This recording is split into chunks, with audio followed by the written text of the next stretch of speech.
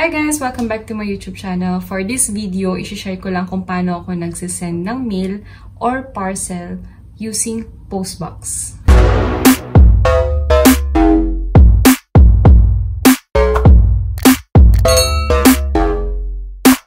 First, syempre, kailangan yung ipack ng maayos yung item na kailangan yung isend. For me, books. Kasi nga, during quarantine, during circuit breaker, na-realize ko na ang dami ko na palang books na hindi na ginagamit.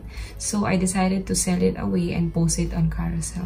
By the way guys, Carousel is an application where you can buy new and used item. So, umpisa na natin. Ngayon, babalutin ko na siya. For my packaging, gumagamit ako ng reusable na paper bag. Please reuse this bag.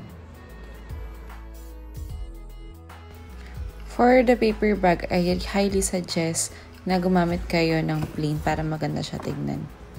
Kung wala naman, okay lang din. Tapos baligtarin nyo na lang para wala yung design.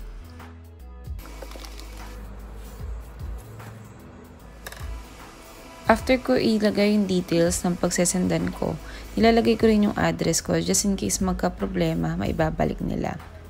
Mag-leave kayo ng space dito kasi dyan kayo maglalagay ng stamp. Tapos, pumunta na kayo sa pinakamalapit na stamp machine kung saan kayo bibili ng stamp.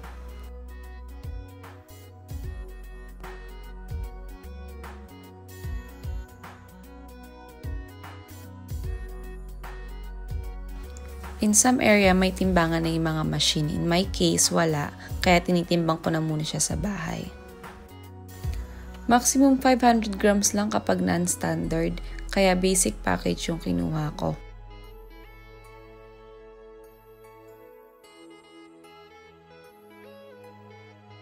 Kapag basic package naman, up to 2 kg. Sundan nyo lang yung instruction.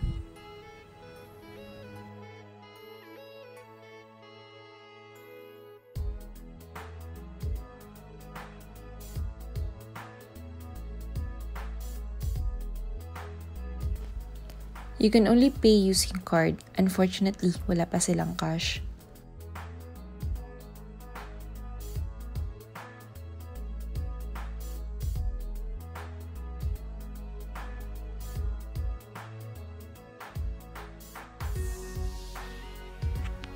After mo magbayad, mag-aantay ka lang ng very light.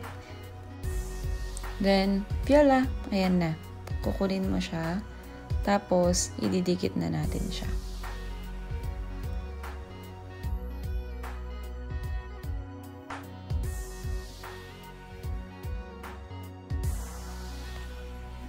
So, ngayon, pwede mo na siyang ihulog. Ang dali, ba?